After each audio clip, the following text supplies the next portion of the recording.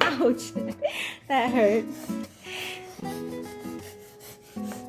Careful, son. We are making Somlaw.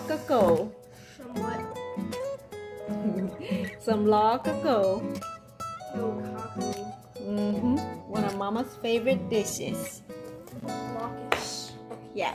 I've got to go to Uncle Pete's house, get some lemongrass and a fresh papaya. We must go to the house of the. I need some fresh leaves, moringa, Slugma.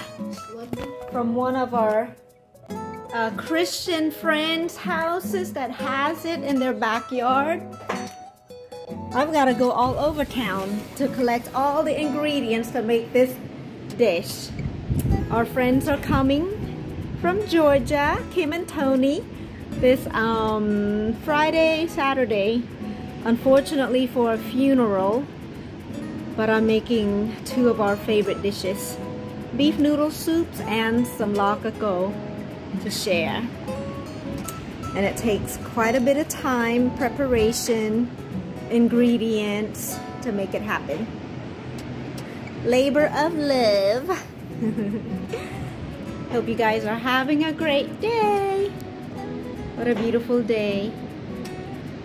Beautiful. Thank you, Lord. Thank you, thank you, thank you, Lord. Please heal my brothers and my sisters that are sick. Heal them, strengthen them, Lord. Comfort them.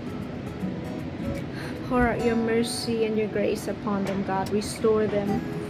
Restore their body, restore their mind, their emotions, their health, their finances, God. Bless them, Lord. Lead and guide each and every one of us, Lord, closer to you today.